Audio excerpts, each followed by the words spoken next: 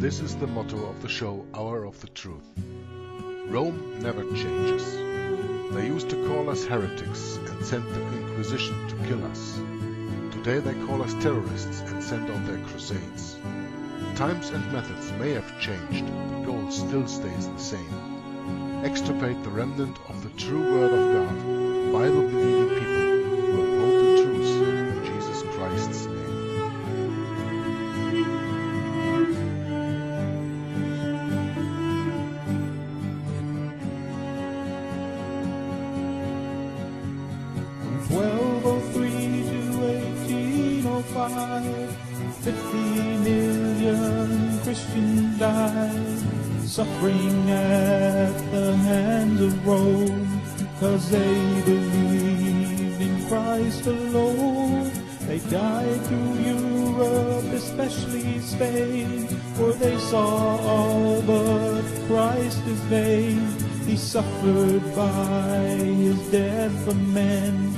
save them from their awful sin. Six hundred years of martyred saints that history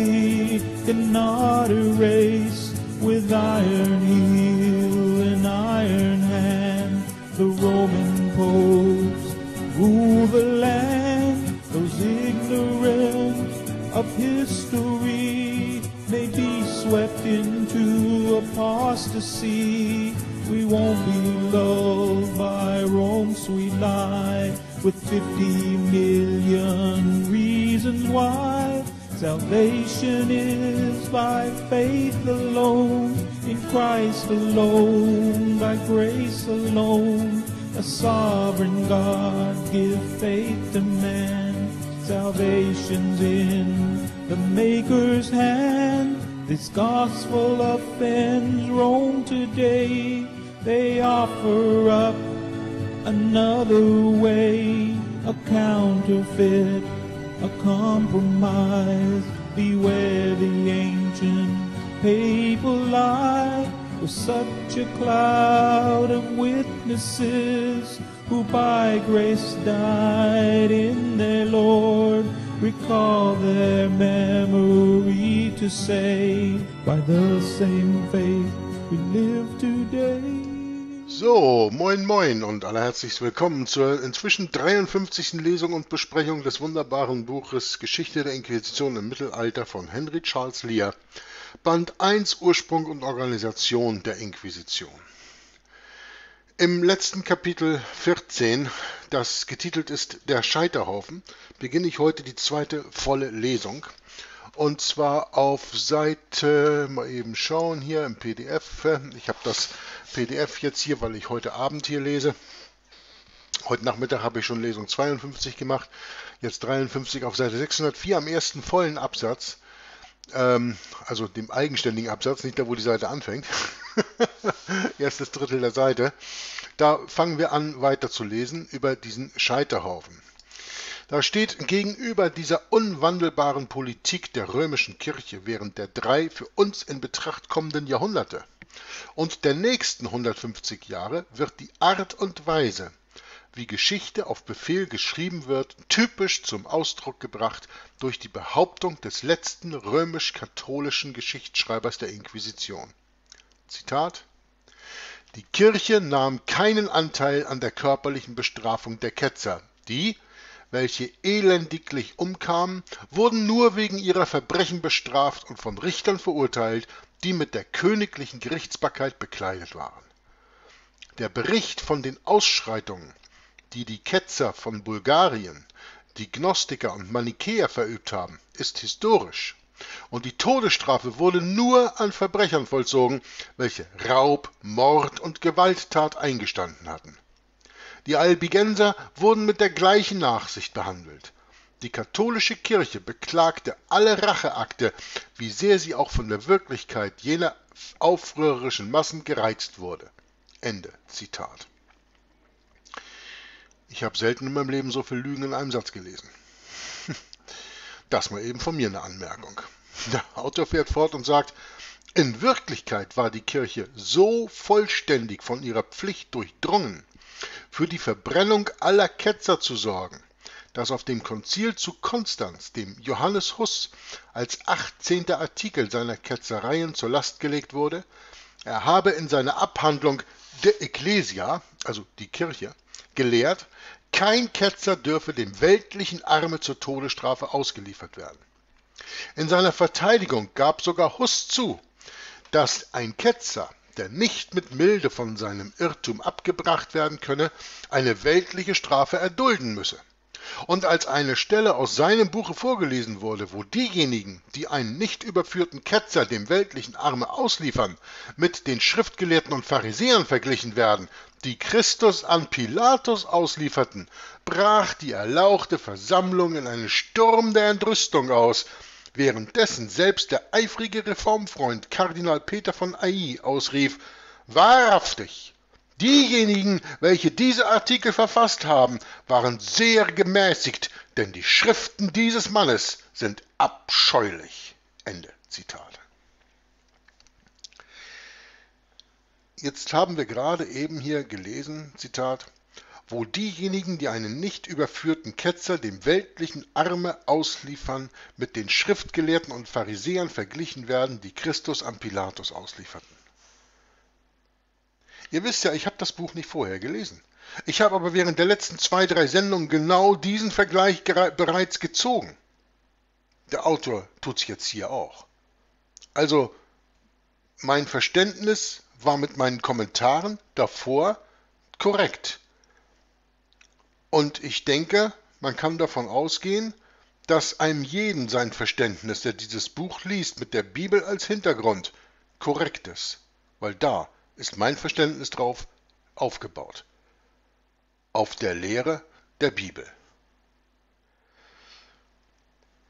Die beständig von der Kirche vorgetragenen Lehren führten ihre besten Männer zu der Meinung, dass keine Handlung gerechter sei als das Verbrennen eines Ketzers und keine Ketzerei unentschuldbarer als das Verlangen nach Duldsamkeit.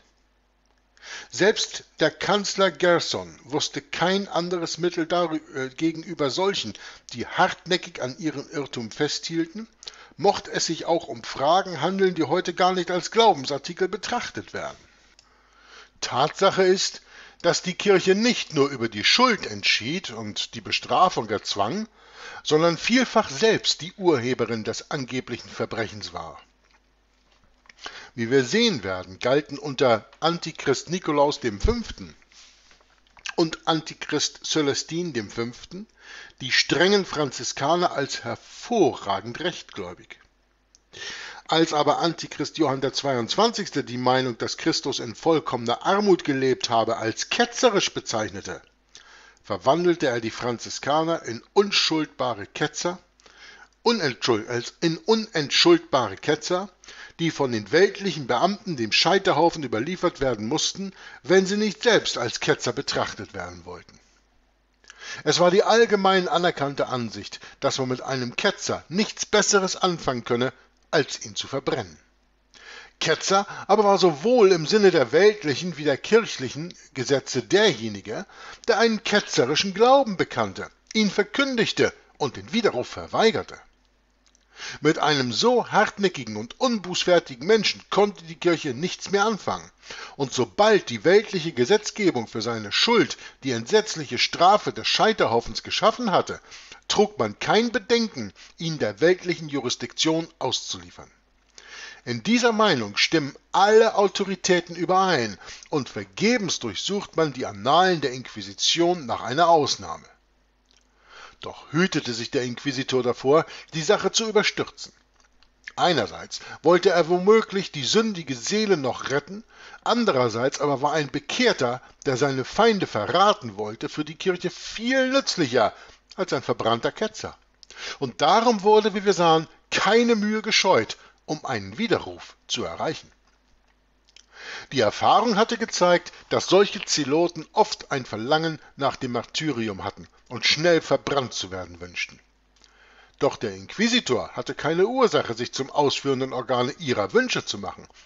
Er wusste, dass dieser Eifer häufig der Zeit und dem Leiden erlag, und er zog es deshalb vor, den hartnäckigen und trotzigen Ketzer ein halbes oder ein ganzes Jahr lang in Ketten und in Einzelhaft gefangen zu halten, indem er ab und zu ein Dutzend Theologen und Rechtsgelehrte auf ihn losließ, die ihn zu bearbeiten und zu bekehren suchen sollten, oder indem er seine Frau und seine Kinder zu ihm kommen ließ, um auf sein Herz einzuwirken.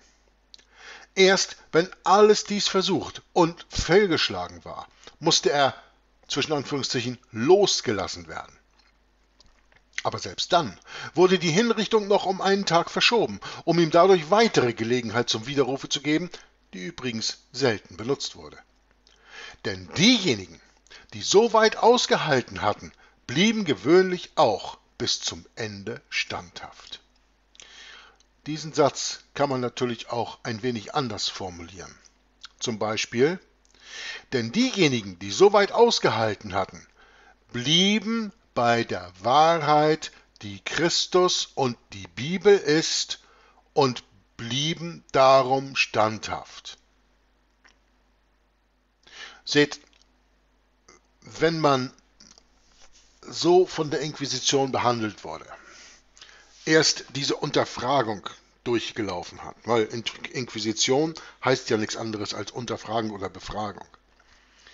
Wenn man gefoltert wurde, wenn man schlecht behandelt wurde, wenn man dann ins Gefängnis eingeschlossen wurde, ein halbes, ein Jahr lang, teilweise Einzelhaft, teilweise an Ketten. Wir haben ja all die ganzen Strafen gelesen. Was hält einen denn da noch am Leben? Doch nur der Glaube und die Hoffnung, dass man dann schlussendlich für seinen Freund auch sterben darf. Welchen Freund? In der Bibel steht geschrieben, dass es kein höheres Gut gibt, als sein Leben für einen Freund darzulegen, niederzulegen. Ein Buch in dieser Welt von Eric John Phelps heißt sogar Wounded in the House of My Friends, verwundet im Haus meiner Freunde. Das ist aus dem Psalm genommen und ist vorausschauend eben auch auf das Martyrium Jesus Christus genommen. Wenn ich das alles durchlaufen habe, was ich gerade eben erzählt habe, dann ist doch meine einzige Hoffnung, dass ich in Christus, durch Christus, mein ewiges Leben noch bekommen kann. Durch die Gnade des Vaters, die er mir durch Christus gewährt. Dann widerrufe ich doch nicht zum Schluss. Sonst hätte ich ja das ganze Martyrium umsonst über mich ergangen lassen, ergehen lassen. Und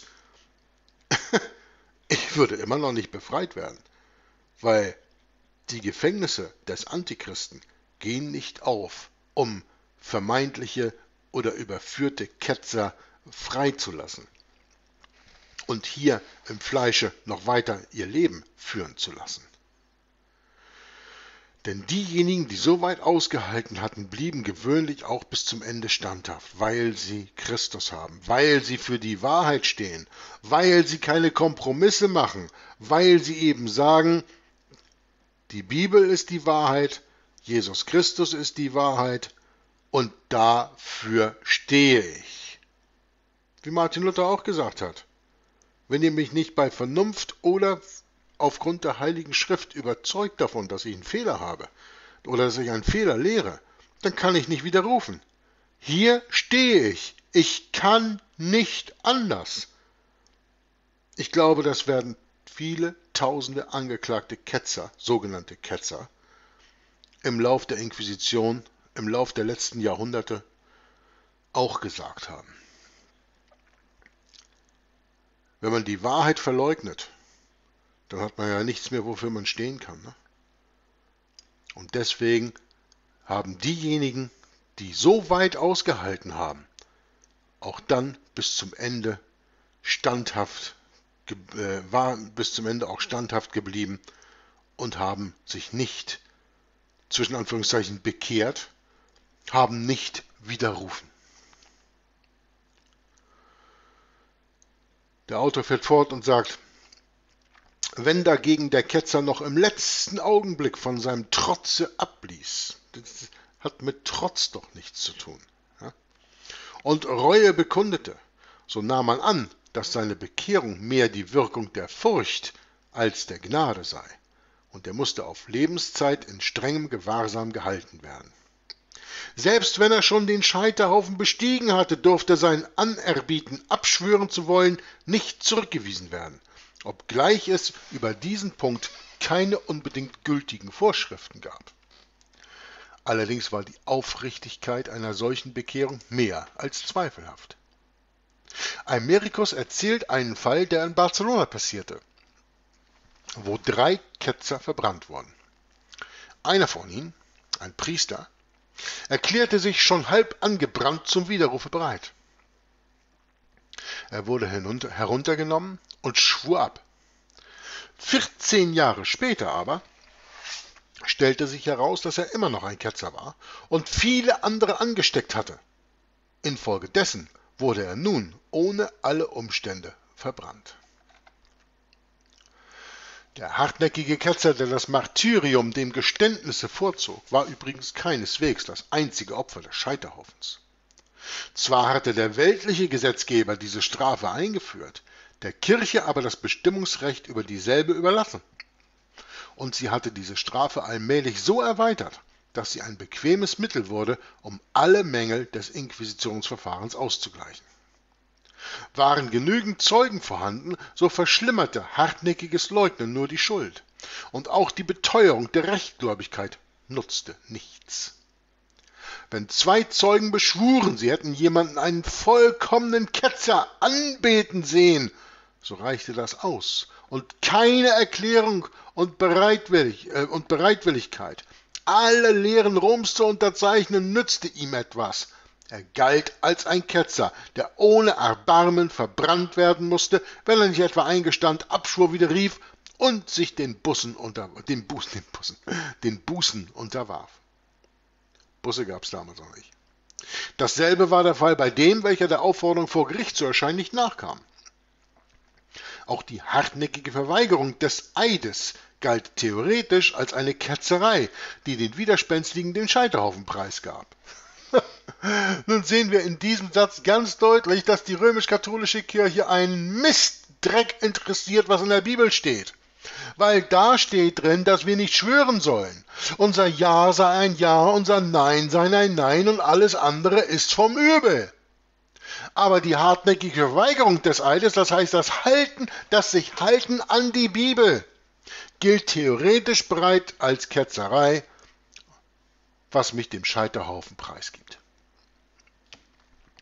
Alleine an diesem einen Satz, nur an diesem einen Satz können wir sehen, dass die römisch-katholische Kirche überhaupt in keinster Weise, Art oder Form das Recht hat, sich christlich zu nennen, dass nichts in der römisch-katholischen Kirche auf den wahren Glauben, auf die Bibel, auf das Wort Gottes aufgebaut ist.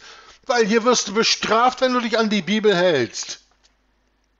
Natürlich, es gibt viele andere Beispiele, die genau dasselbe sagen, aber hier, so niedergeschrieben, finde ich das einen unumstößlichen Beweis, dass wenn man einen Eid verweigert, wo die Bibel klar sagt, ich soll nicht schwören, dass ich dann dem Scheiterhaufen preisgegeben werde. Deutlicher kann es doch nicht sein. Wer will denn mit mir noch darüber diskutieren, dass die römisch-katholische Kirche die einzig wahre Kirche ist, außer der es keine Erlösung gibt? Ja, die römisch-katholische Kirche ist die einzig wahre Kirche, in der es keine Erlösung gibt. Sie ist die einzig wahre satanische Kirche, die alles andere als die Wahrheit und die Liebe und die Hoffnung und die Gnade und Vergebung Gottes lehrt.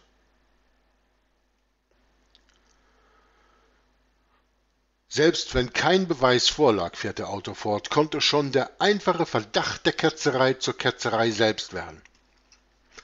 Wenn es dem Verdächtigen nicht gelang, sich binnen Jahresfrist durch Eideshelfer zu reinigen. Hatten wir ja früher schon darüber gesprochen, dass die pure, selbst haltlose Anschuldigung genügt, um jemanden zum Ketzer zu stempeln. Bei schwerem Verdachte hatte die Weigerung abzuschwören dieselbe Strafe innerhalb eines Jahres zur Folge. Ein widerrufenes Geständnis wurde in demselben Sinne aufgefasst. Kurz, der Scheiterhaufen füllte alle Lücken in dem Inquisitionsverfahren aus. Er war die Ultima Ratio und wenn auch nicht viele Fälle auf uns gekommen sind, in denen eine Hinrichtung tatsächlich auf diese Gründe hin erfolgte, so besteht doch kein Zweifel darüber, dass solche Bestimmungen praktisch von größtem Erfolge waren und dass der Schreck, den sie einflößten, auch den Lippen, die sonst verschlossen geblieben wären, manches wahre oder falsche Geständnis erpresste. Es gab jedoch noch eine andere Klasse von Fällen, die der Inquisition viel Kopfzerbrechen verursachte und worüber sie erst nach längerer Zeit zu einem endgültigen und gleichmäßigen Prozessverfahren gelangte. Die zahllosen durch den Kerker oder die Furcht vor dem Scheiterhaufen erzwungenen Bekehrungen füllten die Gefängnisse und das Land mit Leuten an, die nichtsdestoweniger im Herzen Ketzer blieben, obwohl sie äußerlich anscheinend mit der Kirche übereinstimmten. Wir haben schon von der alles durchdringenden Polizei des heiligen Offiziums und von der Wachsamkeit gesprochen, der sie über die Bekehrten, die sie über die Bekehrten ausübte, deren Freilassung auf diese Weise im besten Falle nur ein Urlaubsschein war. Dass der Rückfall zur Ketzerei fortwährend vorkam, war daher selbstverständlich.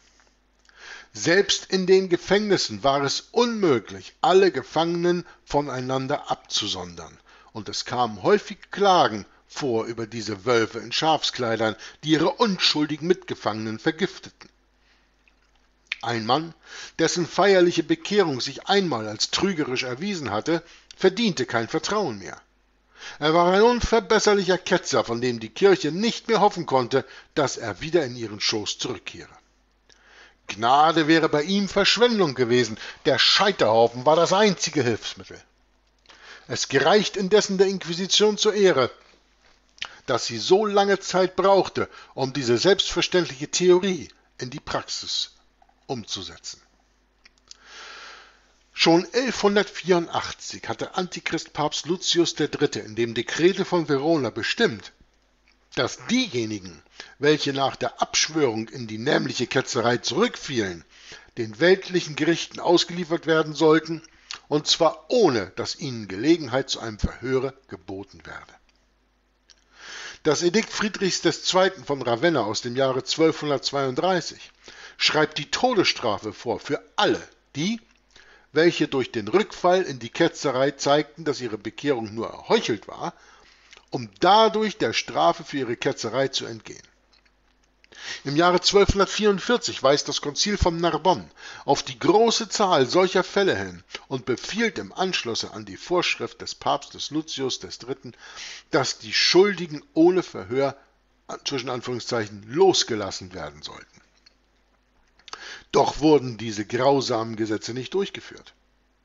Im Jahre 1233 begnügte sich Antichrist Gregor IX. damit, für solche Fälle, die, wie er erklärte, sehr zahlreich seien, lebenslängliche Gefangenschaft festzusetzen. In einem einzigen Urteil vom 19. Februar 1237 verurteilten die Inquisitoren von Toulouse 17 rückfällige Ketzer zu lebenslänglichem Kerker. Auf dem Konzile von Tarragona im Jahre 1242 weist Raimund von Pennaforte auf die über diesen Punkt bestehenden Meinungsverschiedenheiten hin und spricht sich für die Einkerkerung aus. Im Jahre 1246 gibt das Konzil von Béziers ähnliche Befehle und erklärt, dass dieselben mit den apostolischen Vorschriften in Einklang ständen. Aber auch diese harte Strafe wurde nicht immer auferlegt. Im Jahre 1242 schreibt Peter Celler nur Pilgerfahrten und Kreuztragen für solche Übeltäter vor, und in einem Falle, der 1245 in Florenz sich ereignete, ließ Fra Ruggeri Calcani einen Rückfälligen mit einer nicht übermäßigen Geldstrafe davonkommen. Die Frage, was mit solchen scheinbar Bekehrten geschehen sollte, bereitete der Kirche offenbar keine geringe Verlegenheit. Wie gewöhnlich, so entschied man sich schließlich dahin, ihre Lösung dem freien Ermessen des Inquisitors zu überlassen. Auf eine Anfrage des Heiligen Offiziums der Lombardei antwortete um 1246 der Kardinal von Albano den Inquisitoren, sie sollten die ihnen geeignet erscheinenden Strafen anwenden. Also vollkommen frei in ihren Entscheidungen. Im Jahre 1248 legte Bernard von Caux dieselbe Frage dem Erzbischof von Narbonne vor und erhielt den Bescheid nach der Zitat, apostolischen Vorschrift Ende Zitat, sollten diejenigen, welche zum zweiten Mal in Demut und Gehorsam zur Kirche zurückkehrten, mit lebenslänglicher Einkerkerung bestraft, die Ungehorsamen dagegen dem weltlichen Arme ausgeliefert werden. Es war somit die Praxis eine verschiedene, doch neigten die Inquisitoren in der Mehrzahl der Fälle zur Milde. Selbst der eifrige Bernhard von Chaux gab in diesem Fall der Milde den Vorzug. In seinem Verzeichnis der von 1246 bis 48 gefällten Urteile werden 60 Mal Rückfälle erwähnt, von denen keiner strenger als mit Gefangenschaft bestraft wird. Ja, in einigen Fällen ist die Einkerkerung noch nicht einmal eine lebenslängliche. Dieselbe Milde tritt zutage in verschiedenen Urteilen, die während der nächsten zehn Jahre sowohl von ihm wie von anderen Inquisitoren gefällt wurden. Die Handbücher indessen, die aus dieser Zeit stammen, bestimmen mit einer einzigen Ausnahme, dass der Rückfällige immer dem weltlichen Arme ausgeliefert werden müsse und dass ihm kein Gehör zu seiner Verteidigung geschenkt werden dürfe. In einem Ausnahmefalle tritt die vorhandene Unsicherheit zutage, indem hier bestimmt wird, dass der Rückfällige je nachdem entweder mit dem Scheiterhaufen oder mit Gefängnis bestraft werden müsse. Rückfall zum Wucher kam in der Regel mit der leichteren Strafe davon. Tatsache ist, dass in Languedoc unter dem Einflusse des Vertrages von Paris vom Jahre 1229 allen männlichen über 14 und allen weiblichen über 12 Jahre alten Personen alle zwei Jahre ein Eid abgenommen wurde, in dem sie die Ketzerei abschwuren und dass jede spätere ketzerische Handlung theoretisch als Rückfall galt. Das machte vielleicht die Unsicherheit der Inquisitoren von Toulouse erklärlich. Es war eben unmöglich, alle Ketzer zu verbrennen. Es bestand aber, was immer der Grund sein mochte, tatsächlich bei den Inquisitoren Zweifel hinsichtlich der Behandlung der Rückfälligen. Und wir müssen es ihnen zur Ehre anrechnen. Ach, warum stocke ich jetzt hier? Ich rechne keinem Inquisitor irgendetwas zu irgendeiner Ehre an. Das ist mein Standpunkt hierzu. Ja? Der Autor sagt jedenfalls, ähm, wir müssen es ihnen zur Ehre anrechnen, dass sie in dieser Frage barmherziger waren als die gewöhnliche öffentliche Meinung ihrer Zeit. Ähm, die öffentliche Meinung ihrer Zeit. Wir erinnern uns daran, dass wir in der letzten Sendung davon gesprochen haben, dass der Eifer des Mob, des Mob dadurch angestachelt wurde, dass für das Zusammentragen des Holzes für die Scheiterhaufen den Leuten ähm, Ablass zugestanden wurde, dass ihnen, ähm, wie sagt man das, ähm, von Christus versammelte oder auch von den Heiligen versammelte Gerechtigkeit äh, zuerkannt werden würde, dadurch, dass sie eben das Holz der Scheiterhaufen zusammengesammelt haben. Also, wenn man hier jetzt sagt, dass sie in dieser Frage barmherziger waren als die gewöhnliche öffentliche Meinung ihrer Zeit, da muss man erstmal wissen, wie wurde denn die öffentliche Meinung, die öffentliche Meinung in der Zeit beeinflusst. Die wurde doch beeinflusst durch die römisch-katholische Kirche, durch eben solche Dinge zu machen, wie Ablässe zu versprechen, wenn man das Holz für die Scheiterhaufen zusammensammelte. Das ist nur mal ein Beispiel. Es wird wahrscheinlich noch viel mehr Beispiele gegeben haben, aber das ist eins, was wir in der letzten Sendung bereits besprochen haben. Ja? Die öffentliche Meinung ihrer Zeit ich weiß nicht, ob die öffentliche Meinung in der Zeit gewesen war, wirklich alle Ketzer zu verbrennen, weil ich bezweifle, dass das Volk so ähm, pie, ja, wie sagt man, was ist der Ausdruck davon? Ähm, so dermaßen äh, fanatisch im Glauben war, wie der Klerus das war und vor allen Dingen wie die Inquisition das war die ja nicht nur unbedingt fanatisch in ihrem Glauben sind, sondern die vor allen Dingen fanatisch sind in allem, was auch nur ansatzweise gegen ihren Glauben gesprochen wird. Ja? Also so einen Satz wie diesen hier, den müssen wir ein wenig mit einem Körnchen Salz nehmen, ne? also ein wenig abwägen, sage ich jetzt mal, dass sie in dieser Frage barmherziger waren als die gewöhnliche öffentliche Meinung ihrer Zeit.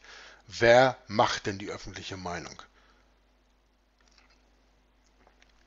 Johann von Saint-Pierre, fährt der Autor fort, der Amtsgenosse und spätere Nachfolger Bernhards von Caux, folgte seinem Beispiel und verurteilte die Rückfälligen stets nur zur Gefangenschaft. als ob das, wenn du halt als Ketzer verurteilt bist, aber im Grunde ein unschuldiger Mensch bist, ein gnadenvolles Urteil wäre. Mal eben dazu. Ja? Und als nach dem Tode Bernhards im Jahre 1252 Bruder Renaud von Chartres Johann beigesellt wurde, wurde dieselbe Regel auch noch weiterhin beobachtet. Bruder Renaud fand jedoch zu seinem Schrecken, dass die weltlichen Richter das Urteil nicht beachteten und die unglücklichen Opfer erbarmungslos verbrannten und dass dies schon unter seinen Vorgängern geschehen sei. Zur Verteidigung dieses Verfahrens wiesen die Zivilbehörden darauf hin, dass auf andere Weise das Land nicht von der Ketzerei gereinigt werden könne und dass dieselbe infolge der missverstandenen Milde der Inquisitoren neue Kraft geschöpft habe. Bruder Renaud sah ein, dass er nicht wie seine Vorgänger diese Grausamkeit stillschweigend zulassen dürfe. Er berichtete daher die Sache an Alphons von Poitiers mit dem Bemerken, dass er sie dem Antichristenpapst vortragen wolle, dass Alphons aber bis zur Ankunft einer Antwort seine Gefangenen gegen die brutale Gewalt der weltlichen Beamten schützen möge. Die Antwort des Antichristen auf die Anfrage Renaults ist uns nicht erhalten. Doch hat man allen Grund anzunehmen, dass der Antichrist mehr die Grausamkeit der Beamten des Alphons als die Milde Renaults billigte. Weil der Papst der Stellvertreter des Teufels hier auf Erde ist, der kennt keine Gnade und Milde. Der gräbt sogar noch Päpste, die verstorben sind, aus und setzt sie vors Gericht. Denn um diese Zeit entschied sich Rom endgültig für bedingungslose Auslieferung aller Rückfälligen an den weltlichen Arm. Das genaue Datum dieser Entscheidung habe ich nicht feststellen können. Aber während im Jahre 1254 Antichrist Innozenz IV. bei den schweren Verbrechen eines doppelten Rückfalls, das in Mailand vorgekommen war, sich damit begnügt hatte, die Zerstörung von Häusern und öffentliche Bußen anzuordnen, bezeichnete im Jahre 1258 Antichrist Papst Alexander IV. die Auslieferung der Rückfälligen als eine unwiderruflich feststehende Tatsache. Möglicherweise war hierauf eben diese Berufung Renaults von Einfluss. Der Inquisition kam diese Entscheidung anscheinend etwas überraschend. Denn mehrere Jahre hindurch behelligte sie den Heiligen Stuhl beständig mit der Frage, wie eine solche Vorschrift mit dem allgemein anerkannten Grundsatz, dass die Kirche einen ihren verirrten, aber die Rückkehr suchenden Kindern niemals ihren Schoß verschließen dürfe, in Einklang zu bringen sei. Hierauf wurde die bezeichnende Antwort erteilt, dass ihnen der Schoß der Kirche keineswegs verschlossen sei. Auch auf dem Scheiterhaufen könnten sie das heilige Abendmahl empfangen. Aber dem Tode dürften sie um dessen Willen nicht entzogen werden. In dieser Form wurde die Bestimmung ins kanonische Recht aufgenommen und in der Summa Theologica des heiligen Thomas von Aquin zu einem Teil der rechtgläubigen Lehre gemacht. Das Versprechen des Abendmahls wurde in einem solchen Falle häufig mit in das Urteil aufgenommen. Und das Opfer wurde stets von Priestern zum Richtplatze begleitet, die sich bis zum letzten Augenblick bemühten, seine Seele zu retten. Dem Inquisitor wurde klugerweise der Rat erteilt, sich von dieser Aufgabe fernzuhalten, da sein Erscheinen das Herz des Opfers wahrscheinlich eher verhärtete als erweiche. Nun, der Autor spricht hier von dem Abendmahl. Das Versprechen des Abendmahls wurde in einem solchen Falle häufig mitten das Urteil aufgenommen, und das Opfer wurde stets von Priestern zum Richtplatze begleitet, die sich bis zum letzten Augenblick bemühten, seine Seele zu retten, und das Abendmahl wurde sogar auf dem Scheiterhaufen noch zugeteilt. Leute, nein, es geht hier nicht um das Abendmahl, es geht hier um die Eucharistie. Es geht hier darum, einen Ketzer doch noch zum Schluss dazu zu bringen, diese in, mit, den, mit den teuflischen Worten hoc est corpus enum meum angeblich verwandelte Hostie vom Brot in das Fleisch und Blut Jesu Christi zu sich zu nehmen und damit an der Messe teilzunehmen und die volle Kommunion in der römisch-katholischen Kirche zu empfangen, bevor er verbrannt wird. Das ist die Absicht. Es hat nichts mit dem Abendmahl zu tun. Da irrt der Autor. Er gebraucht das Wort Abendmahl, das wir aus der Bibel kennen, wo Jesus Christus gesagt hat, brecht dieses Brot, das ist mein Leib, und trinkt diesen Wein, das ist mein Blut, und dies tut für den äh, äh, zum Gedächtnis an mich, ja, das Brot brechen und das Blut trinken, sein Leib essen und sein Blut trinken, in der Form von Brot und Wein, und wir sollen das in Erinnerung an ihn tun. Und nicht daran, dass vor uns irgendeiner steht und mit irgendwelchen Hokuspokus-Worten sagt, hiermit hole ich Christus aus dem Himmel, sein Blut und sein Fleisch. Und das ist das, was du jetzt wirklich isst, das ist ohne irgendwelche geistigen Reservationen der volle Leib und das volle Blut Jesu Christi. Das musst du glauben. Das ist die Eucharistie.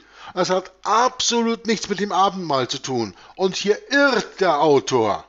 Das muss man mal ganz deutlich so hinstellen. Da darf man nicht einfach so drüber hinweglesen. Schließlich wurde in dieser Form die Bestimmung ins kanonische Recht aufgenommen in der Summa des Thomas von Aquin. Und das Buch von Thomas von Aquin, die Summa Theologica, habe ich hier. Es ist zwar in Englisch, es ist eine äh, auszugsweise Übersetzung, weil das ganze Werk in fünf großen Bänden, das in Latein geschrieben ist, das habe ich natürlich nicht, würde ich auch nicht verstehen. Aber ich habe eine eingekürzte englische Übersetzung davon hier liegen. Ich könnte es raussuchen. Aber ich glaube dem Autoren in dem Fall, dass er meint, dass das in das kanonische Recht aufgenommen wurde. Nur wir dürfen nicht vergessen, dass das biblische Abendmahl nichts zu tun hat mit dem Opfer der Messe der Eucharistie und dass dieses zwischen Anführungszeichen Abendmahl, das dem Ketzer auf dem Scheiterhaufen davor gehalten wird, nicht das biblische Abendmahl ist, sondern der von der römisch-katholischen Kirche wieder getötete Jesus Christus. Weil sie verändert totes Brot in seinen Leib und sein Blut mit dem Wein. Wobei der Wein ja nicht mal gegeben wird. Das wird ja nur die Oblate, also dieses Stück Brot im Grunde gegeben. Weil der Wein, das ist ja das Blut des Jesus Christus, das könnte ja, da könnte ja ein Tropfen von eventuell auf den Boden fallen und das wäre dann ein Sakrileg, das wäre Heiligenentweihung nach Lehre der römisch-katholischen Kirche. Also wurde den Leuten ja sowieso nur das Brot gegeben, das Blut schon mal gar nicht mehr. Also der Wein schon mal gar nicht mehr. Und das, was ihnen hier auf dem Scheiterhaufen gereicht wurde, das sogenannte Abendmahl, wie der Autor das hier nennt, das ist nicht das Abendmahl, wie Jesus Christus es in der Bibel uns empfiehlt zu nehmen, sondern das ist aus der römisch-katholischen satanischen Messe der getötete Jesus, der da als Brot vorgeschüsselt wird, den du dann nehmen musst in dem Glauben, dass du den wirklichen Christus ist, weil es wurden durch die teuflischen Worte hoc est corpus enum meum, was im Grunde nichts anderes heißt als dieses mein Leib auf Latein, damit verwandelt der Priester der römisch-katholischen Kirche dieses Stück Brot in den Leib Jesu Christi. Vollständig. Es ist eine Wesensverwandlung, die hier stattfindet, so gesagt. Und das musst du glauben. Und dann musst du es essen. Nein, hier wird den Leuten nicht das Abendmahl gebracht in irgendeiner Gnadenform, sondern hier wird den Leuten die letzte Möglichkeit gegeben, noch an der teuflischen Eucharistie teilzunehmen, die volle Kommunion der römisch-katholischen Kirche zu haben und dann, bitteschön, verbrannt zu werden.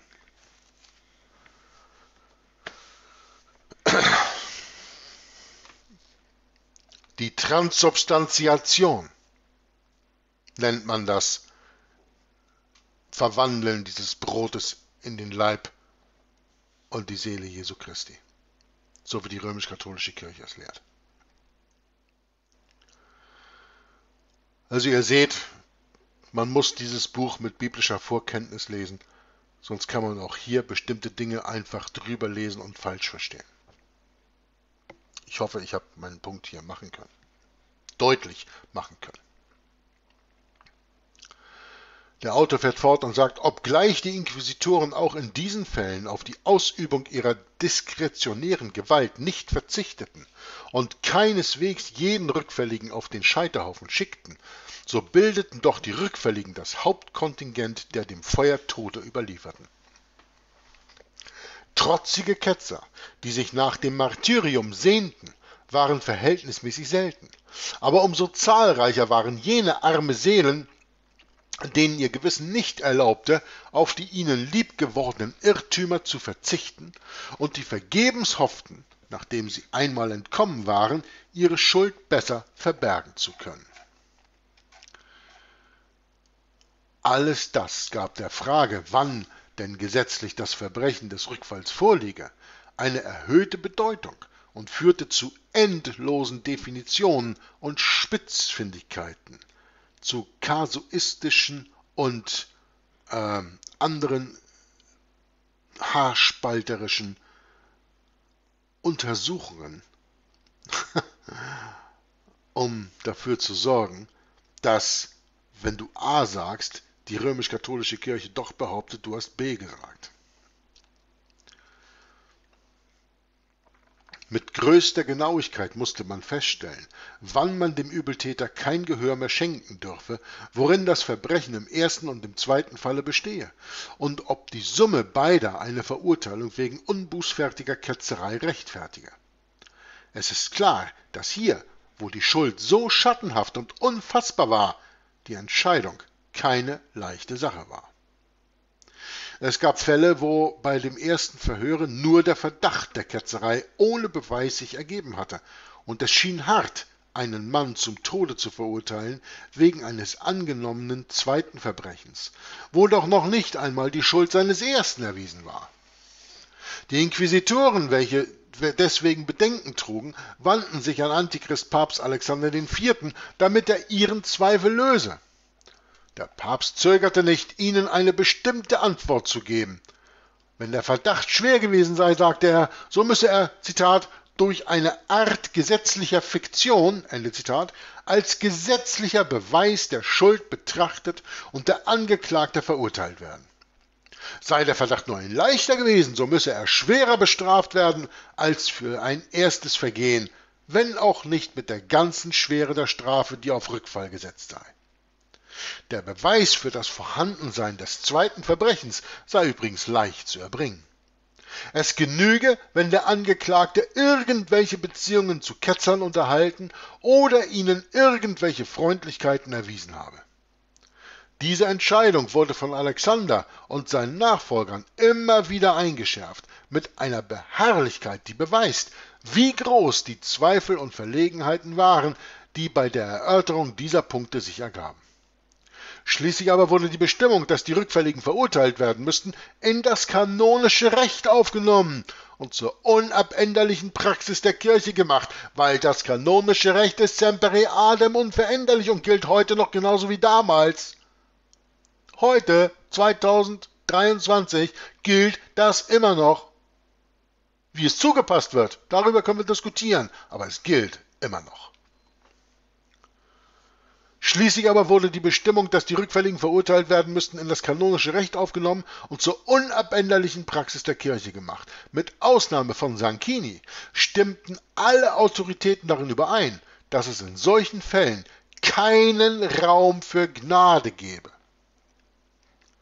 Außer diesen Schwierigkeiten gab es noch weitere in Betreff verschiedener Arten der Schuld.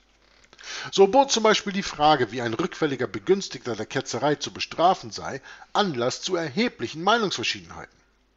Im Jahre 1244 war das Konzil von Narbonne der Ansicht, dass, der, der, dass diejenigen, die sich dieses Verbrechens schuldig gemacht hatten, dem Antichristen zugeschickt werden sollten, damit dieser sie absolviere und ihnen eine Strafe auferlege.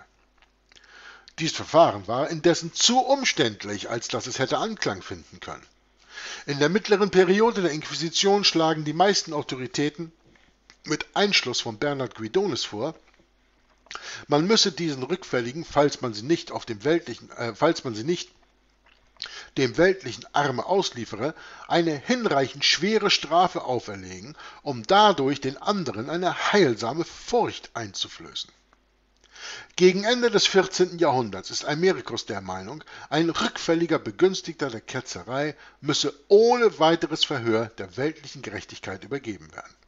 Ja, selbst diejenigen, welche nur in dem üblen Rufe der Ketzerei gestanden hätten, müssten, wenn sie nach ihrer gesetzlichen Reinigung wieder in üblen Ruf kämen, demselben Schicksal unterworfen werden. Allerdings schlägt Almericus in Anbetracht der Härte dieser letzteren Maßregel vor, solche Fälle dem Antichristen zur Entscheidung zu unterbreiten. Es gab noch eine andere Klasse von Übeltätern, die den Inquisitoren endlose Umstände bereiteten und für welche es schwer war, feste, unabänderliche Regeln aufzustellen. Das waren diejenigen, welche aus dem Gefängnisse entflohen oder die Erfüllung der ihnen auferlegten Bußen unterließen. Theoretisch waren Büßer alle solche, die sich zum wahren Glauben bekehrt, also katholisch, ja, dem unwahren Glauben, und freudig die Buße als die einzige Hoffnung auf ihr Seelenheil auf sich genommen hatten. Lehnten sie später die Buße ab, so war das ein Beweis, dass ihre Bekehrung nur erheuchelt gewesen oder dass die unbeständige Seele in ihre früheren Irrtümer wieder zurückgefallen war. Sonst hätten sie die liebevolle und heilsame Disziplin der gütigen Mutter Kirche doch nicht zurückgewiesen. Daher betrachtete und behandelte man anfangs diese Schuldigen als rückfällige Ketzer. Im Jahr 1248 ordnete das Konzil von Valence an, dass ihnen die Wohltat einer vorherigen Verwarnung zuteil werden solle, verharrten sie alsdann noch immer in ihrem Ungehorsam, so sollte sie dieselbe Strafe treffen, die für hartnäckige Ketzer festgesetzt war.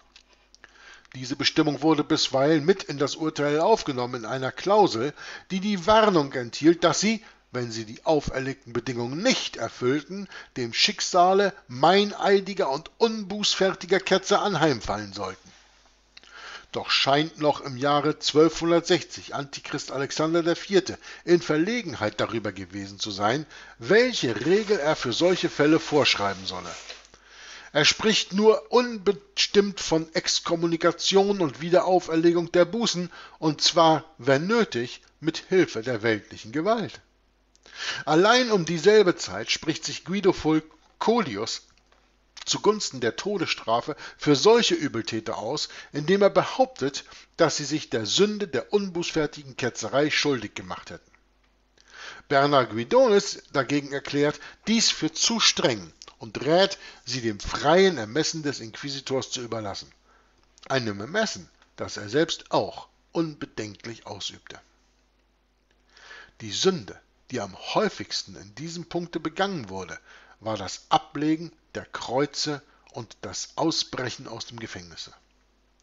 Das erstere Vergehen, also das Ablegen der Kreuze, wurde, soweit ich feststellen kann, nie mit dem Tode bestraft, wohl aber mit so schweren anderen Bußen, dass dieselben doch als Abschreckungsmittel dienen konnten. Das zweite Vorgehen dagegen war nach der Lehre der späteren Inquisition oder Inquisitoren ein Kapitalverbrechen. Der entwichene Gefangene sei ein rückfälliger Ketzer und als solche ohne Verhör zu verbrennen. Einige Rechtsgelehrte waren der Ansicht, dass auch die Weigerung in vollem Umfange alle Ketzer, von denen der Bekehrte Kenntnis hatte, zu verraten, die Verpflichtung dazu bildete einen notwendigen Bestandteil des Abschwörungseides, selbstverständlich als Rückfall zu betrachten sei. Bernard Guidonis dagegen hält dies für ungebührlich hart. Die entschiedene Weigerung, die auferlegte Buße zu vollbringen, galt als Beweis für hartnäckige Ketzerei und führte unvermeidlich zum Scheiterhaufen. Solche Fälle waren naturgemäß selten, da die Buße ja nur solchen vorgeschrieben wurde, die bekannt Bekehrung gelobt und um Aussöhnung mit der Kirche gebeten hatten. Doch wird ein solcher Fall von einer Frau aus der zweiten Hälfte des 15. Jahrhunderts berichtet, die, von der Inquisition zu Cartagena verurteilt, ihre Unterwerfung unter die auferlegte Buße verweigerte und darum von Rechts wegen dem weltlichen Arme ausgeliefert wurde. Zum Verbrennen. Trotz dieser großen Häufigkeit der Todesstrafe bin ich überzeugt, dass die Zahl der Opfer, die tatsächlich auf dem Scheiterhaufen umkamen, doch bedeutend geringer war, als gewöhnlich angenommen wird. Das wohlbedachte, lebendige Verbrennen eines Menschen, und zwar lediglich deshalb, weil er einem anderen Glauben huldigte, ist eine so auffallende Grausamkeit und macht auf die Fantasie einen so tiefen Eindruck, dass man darin das eigentliche Wesen der Tätigkeit der Inquisition erblickt hat. Also, langsam fange ich an, an dem Autoren hier zu zweifeln. Aber das ist ein weiterer Beweis dessen, dass der Autor überhaupt keine Ahnung hat, wofür die römisch-katholische Kirche wirklich steht. Er meint, das wohlbedachte lebendige Verbrennen eines Menschen, weil er einen anderen Glauben huldigte, ist eine so auffallende Grausamkeit und macht auf die Fantasie einen so tiefen Eindruck, dass man darin das eigentliche Wesen der Tätigkeit der Inquisition erblickt hat. Das bezweifelt er hier. Das bezweifle ich überhaupt nicht. Die Bibel beschreibt, dass die römisch-katholische Kirche in dem Blut der Heiligen, der Folger Jesus Christus, badet. Ja? Das Blutvergießen ist unermesslich. Und die Scheiterhaufen wurden ja auch oftmals geschichtlich festgehalten. Das hat er hier ja selber auch gemacht. Und trotzdem zweifelt der Autor da jetzt dran. Er ist überzeugt, dass die Zahl der Opfer, die tatsächlich auf dem Scheiterhaufen umkamen, bedeutend geringer war, als gewöhnlich angenommen wird. Ich persönlich gehe davon aus, dass die Zahl der Opfer, die tatsächlich auf dem Scheiterhaufen umkamen, bedeutend größer war, als allgemein bekannt ist. Da gehe ich von aus, weil ich die römisch-katholische Kirche kenne. Ich meine, ich will hier nicht in eine Diskussion eintreten mit einem Autoren, der schon 100 Jahre tot ist oder sowas in der Richtung. Das Buch wurde ja zur Jahrhundertwende des 19. aufs 20. Jahrhundert geschrieben und er hat im 20. Jahrhundert noch gelebt, ich weiß jetzt nicht genau wie lange. Aber ich will jetzt auch nicht in eine nutzlose Diskussion reingehen, aber hier und da frage ich mich manchmal, wenn einer so tief dieses Thema recherchiert, wie kann man dann am Ende dieses Buches, wir sind auf Seite 615, also nicht mehr so weit weg vom Ende des Buches, wie kann man dann zu der Conclusio kommen, wie kann man dann zu einer Überzeugung kommen, sagt er hier, seine persönliche Überzeugung, dass die Zahl der Opfer, die tatsächlich auf dem Scheiterhaufen umkamen, bedeutend geringer war, als gewöhnlich angenommen wird. Wenn man doch sieht, wie die römisch-katholische Kirche unschuldige Menschen in den Kerker verweist und dann nach der Aburteilung des kirchlichen Gerichts der weltlichen Macht überlässt, die dann die Todesstrafe meistens eben durchführt. Die Leute, die Kreuz tragen mussten und die Bußen machen mussten, die Pilgerfahrten machen mussten und andere Strafen auferlegt haben, das war ja nur ein geringer Teil. Und äh, ich muss hier ganz deutlich sagen, dass ich mit dem Autor hier nicht einverstanden bin. Schon gar nicht nach dem, was ich bis jetzt in Band 1 alles gelesen habe und weiß, dass noch zwei Bände kommen werden. Ähm, die Grausamkeit der römisch-katholischen Kirche kennt einfach keine Grenzen. Aber ja, das ist meine Meinung, die mache ich gerne kund, weil wenn der Autor hier seine Meinung kundgibt, dann kann ich als lesender Mensch seines Buches auch meine Meinung dazu kundgeben. Und meine Meinung differiert hier von dem Autoren 100% oder 180 Grad. Nochmal. Trotz dieser großen Häufigkeit der Todesstrafe bin ich, Henry Charles Lear, davon überzeugt, dass die Zahl der Opfer, die tatsächlich auf dem Scheiterhaufen umkamen, doch bedeutend geringer war, als gewöhnlich angenommen wird. Das wohlbedachte, lebendige Verbrennen eines Menschen, und zwar lediglich deshalb, weil er einem anderen Glauben huldigte, ist eine so auffallende Grausamkeit und macht auf die Fantasie einen so tiefen Eindruck, dass man darin das eigentliche Wesen der Tätigkeit der Inquisition erblickt hat. Es geht hier, weil man andere Menschen bestraft, egal ob mit Verbrennen oder sonst was, weil sie einen anderen Glauben haben. Weil sie die Wahrheit vertreten in einer Welt der Lügen. Solange der Autor das hier nicht vollständig versteht, ist seine Analyse vielleicht oder sein Verständnis, seine Überzeugung vielleicht auch zu begreifen. Meine Überzeugung ist deswegen eine andere. Tatsächlich aber wurde von all den Mitteln, die der Inquisition zur Unterdrückung der Ketzerei zur Verfügung standen, der Scheiterhaufen verhältnismäßig selten angewandt. Die Dokumente jener traurigen Zeit sind meistens verschwunden. Ach nee. Wenn die Dokumente jener traurigen Zeit meistens verschwunden sind, dann findest du eben auch nicht mehr viele Dokumenten, wo der Scheiterhaufen angewandt wurde. Praktisch, ne?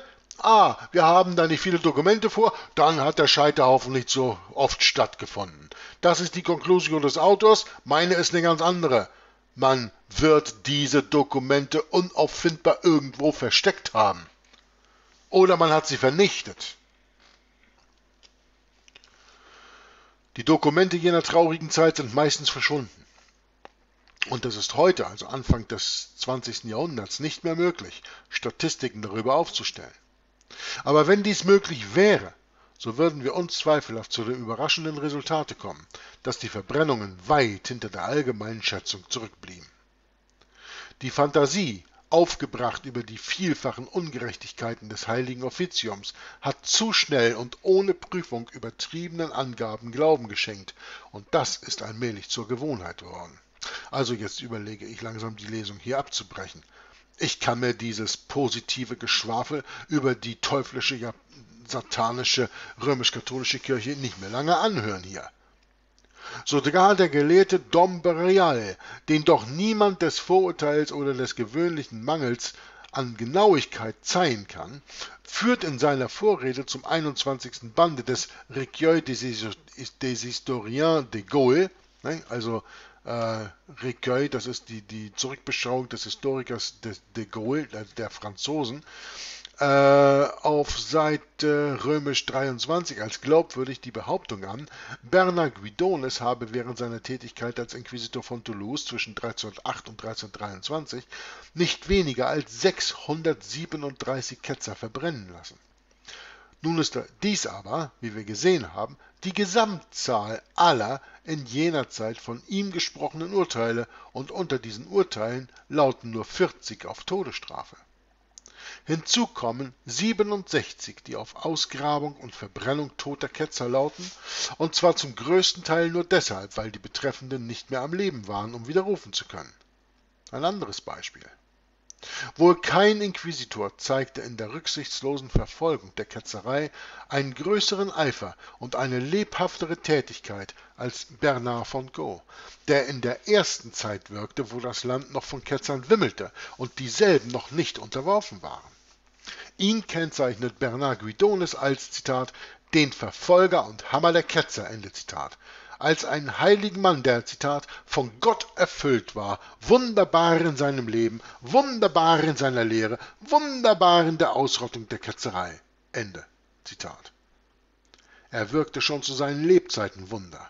Er wirkte schon zu seinen Lebzeiten Wunder, und im Jahre 1281, 28 Jahre nach seinem Tode, fand man seinen Leichnam unverwest und wohlerhalten mit Ausnahme eines Teils der Nase. Ein solcher Mann kann unmöglich einer ungerechtfertigten Nachsicht gegen die Ketzer beschuldigt werden. Und doch findet sich in dem Verzeichnis seiner Urteile, das die Jahre 1246 bis 48 umfasst, nicht ein einziger Fall einer Auslieferung an den weltlichen Arm. Falls man absieht von den Kontumatialurteilen gegen abwesende Ketzer, die immer auf Todesstrafe lauteten. Doch konnte man sich auch in diesem Fall durch Unterwerfung noch retten, und gerade dieses Verzeichnis des Bernard von Caux liefert ein auffallendes Beispiel dieser Art. Es gab in Toulouse keinen gefährlicheren Ketzer als Alaman von Rouet. Er gehörte zu einer der vornehmsten Familien der Stadt, die der Kirche der Ketzer schon viele Mitglieder geliefert hatte, und er stand sogar im Verdacht, ein Bischof der Ketzer zu sein. Im Jahre 1229 hatte ihn der Legat Romano verurteilt und ihm zur Buße einen Kreuzzug ins Heilige Land auferlegt. Er hatte auch geschworen, sich derselben zu unterziehen, hatte sie aber nie ausgeführt. Im Jahre 1237 griffen die ersten Inquisitoren, Wilhelm Arnaud und Stephan von Saint-Thierby, seinen Fall wieder auf. Sie fanden ihn in unverminderter Tätigkeit, wie er Ketzer beschützte, ketzerische Lehren verbreitete, Priester und Kleriker gefangen nahm, beraubte, verwundete und tötete. Dieses Mal wurde er in absentia, also in äh, Abwesenheit, verurteilt. Er wurde ein Faidit, ein Geächteter, der mit dem Schwerte in der Hand lebte und die Gerechtsgläubigen ausplünderte und für sich und seine Freunde den Lebensunterhalt zu gewinnen. Man kann sich keinen schlimmeren Fall von hartnäckiger Ketzerei und boshafter Hartnäckigkeit denken als den seinen. Und doch wurde er, als er sich 20 Jahre nach seiner ersten Bekehrung am 16. Januar 1248 vom Neuem bekehrte und Buße verlangte, nur zu Gefängnis verurteilt. Inwiefern war der Mann dann ein Ketzer? Er hat ja genau das getan, was die römisch-katholische Kirche eigentlich will. Tatsächlich waren, wie wir hier gesehen haben, die Bemühungen der Inquisition ernstlich und weit mehr darauf gerichtet, Bekehrungen mit nachfolgender Denunziation von Freunden und Konfiskation zu erreichen, als Märtyrer zu schaffen. Nur ab und zu war ein Scheiterhaufen notwendig, um das Volk in heilsamer Furcht zu halten. Durch die in den 50 Jahren seiner Tätigkeit vorgenommenen 40 Verbrennungen wollte Gernard Guidonis die letzten Zuckungen des Katharismus unterdrücken, die Waldenser im Zaume halten und den Feuereifer der Franziskaner Spiritualen zügeln. Die tatsächlich wirksamen Waffen der Inquisition, wodurch sie eine wahre Geißel für die Menschheit wurde, waren ihre verpesteten Kerker, ihre massenhaften Konfiskationen, die demütigende Buße der gelben Kreuze und ihre unsichtbare Spionage, durch die sie Herz und Geist eines jeden Menschen, der einmal in ihre Hände gefallen war, völlig zu lähmen verstand. Ich beende die Lesung für heute hier mit einer ganz schweren Enttäuschung über den Autor dem kann ich hier nur in kleinem Maße Ausdruck verleihen. Innerlich bin ich geschockt, solche Dinge lesen zu müssen. Bei all den ganzen Untersuchungen, die er angestellt hat, die Zugänge zu all diesen wunderbaren uralten Archiven, die alles das beweisen, wie schlecht die Kirche war, dass der Autor nicht begreift, dass er hier mit der Kirche Satans zu tun hat und dass er sich jetzt zum Ende des 14. Kapitels hier fast noch als ihr Anwalt aufspielt. Da fehlt mir jegliches Verständnis für. Und das wird auch den Rest meiner Lesung dieses Buches beeinflussen, weil meine Leidenschaft dieses Buches ist nach der heutigen Lesung sehr gedämpft möchte ich mal sagen. Wie ein Autor mit seinem Wissen nicht erkennen kann, welche Ungerechtigkeiten die römisch-katholische Kirche über die Welt gebracht hat, nicht erkennen kann, dass er es hier mit der Hure Babylons aus der Offenbarung zu tun hat, das fällt mir fast schon unmöglich zu glauben. Und äh, ist ein wenig schwer, muss ich ganz ehrlich sagen nach all der Mühe, die ich gemacht habe, dieses Buch zu lesen, zum Ende zu einer solchen Erkenntnis über den Autoren zu kommen, das ist schon fast schwer. Ähm, also sehr enttäuschend, auf jeden Fall, sehr enttäuschend. Ähm, tja, mir fehlen nicht oft die Worte, aber im Augenblick suche ich sie hier und da ein wenig, weil die Bibel sagt uns gut genug, wie sehr die römisch-katholische Kirche, die Heiligen, die Gläubigen in Christus, die wahren Vertreter Jahwes hier auf Erden und dem Folger seines Sohnes verfolgt. Und die Beispiele alleine schon aus, letzten, aus dem letzten Hundert, äh, Jahrhundert sind ja genügend, um zu zeigen, wie die Inquisition in der heutigen Zeit fortgesetzt wird also in den letzten 100 Jahren, und wie sie heute immer noch fortgesetzt wird. Die Glaubenskongregation, die heute besteht, ist nichts weiter als das heilige Offizium der Inquisition von damals. Anderer Name, aber selber Auftrag. Und sie töten, töten, töten, töten. Haben es damals getan und tun es heute. Da hat sich nichts geändert und da wird sich nichts ändern, bis zu dem Zeitpunkt, wenn unser Herr Jesus Christus endlich zurückkommt. Daran ändert auch nichts die Einstellung, was die der Autor hier auf einmal zur römisch-katholischen Kirche aufnimmt, wo er sie beinahe in Schutz nimmt. Und das ist das Letzte, was ich jemals tun werde. Ja, es ist nicht das Letzte, was ich tun werde. Ich werde es niemals tun. Die römisch-katholische Kirche in irgendeiner Art, Weise oder Form in Schutz nehmen. Nee, nicht bei mir. Von daher kann ich nur jedem raten, sein wahre, seine wahre Kenntnis aufzubauen durch das Lesen der Bibel. Und wie die Beröer in Kapitel 17, Vers 11 unserer Apostelgeschichte, alles täglich an der Bibel zu messen. Das, was hier gesagt würde von dem Autoren, muss ich an der Bibel messen. Und wenn ich es an der Bibel messe, dann sehe ich ganz klar, der Autor ist hier im Irrtum. Er hat weder von der Bibel große Ahnung, noch hat er von der römisch-katholischen Kirche große Ahnung. Auch wenn er drüber schreibt. Zumindest macht er uns diese Geschichte zugänglich und wir sind in der Möglichkeit, seine Worte zu lesen und zu analysieren und zu wiegen und, äh, und, und, und abzuwägen und ähm, zu analysieren, wo sein Standpunkt herkommt. Und äh, vielleicht ist es ja auch der Grund, weshalb ein Mensch solch ein Buch schreiben durfte, weil er eben ansonsten der römisch-katholischen Kirche positiv gesinnt war. In weitere Spekulationen möchte ich mich hier nicht begeben. Ich möchte das abschließen mit der Bitte, eure Bibel zu lesen und mir auch bei der nächsten 54. Lesung dieses Buches zu folgen. Und bis dahin wünsche ich allen einen schönen Tag, eine gute Nacht. Shalom. Maranatha.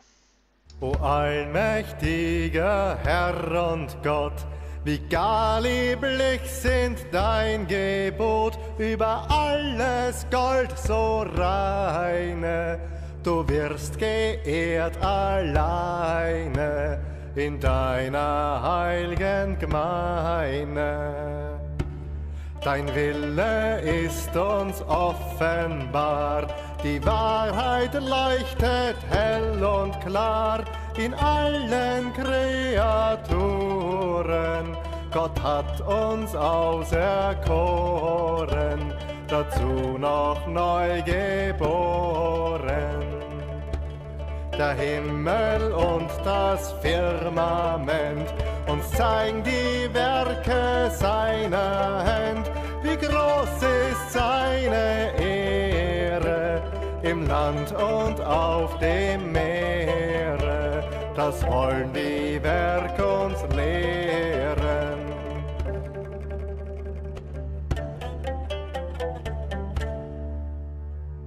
Die Werke Gottes sind überall, auf hohem Berg, im tiefen Tal, auch in den ebenen Feldern, die Vögel in den Wäldern, tun uns die Wahrheit melden. Ein jedes Werk preist unseren Gott, weil er so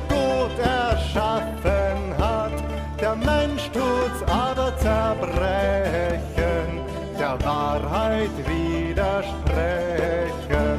Gott wird es an ihm rächen. Die Werke Gottes sind wunderbar, in rechter Ordnung immer da.